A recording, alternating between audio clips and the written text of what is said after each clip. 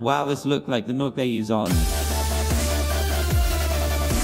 Hey everyone! Dan here from the Diamond Minecart. Welcome back to another Minecraft mod showcase where today we're going to be taking a look at the Nuke mod. This is going to be a fun video. Alright, let's find the nuke. There it is! Let's also get a flint and steel to set this thing up.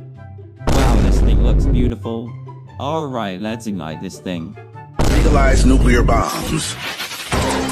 Swag Messiah.